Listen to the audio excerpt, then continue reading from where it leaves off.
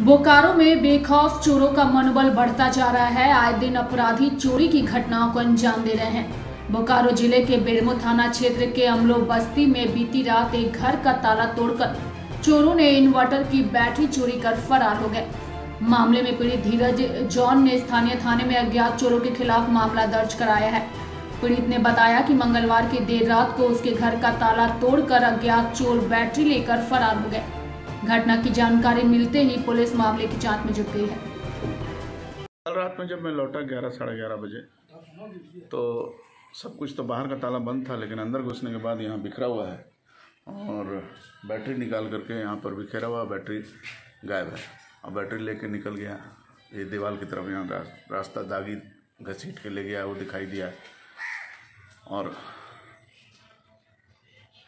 समझ में नहीं आया कैसे हुआ, क्योंकि सब तरफ़ बंद था वैसे के वैसे। सिर्फ़ एक जगह तोड़ करके बैटरी ले गया। न्यूज़ अपडेट के लिए आप हमारे चैनल को सब्सक्राइब करें। आप हमें फेसबुक और इंस्टाग्राम पर भी फॉलो कर सकते हैं। बने रहे लगातार डॉट इन के साथ।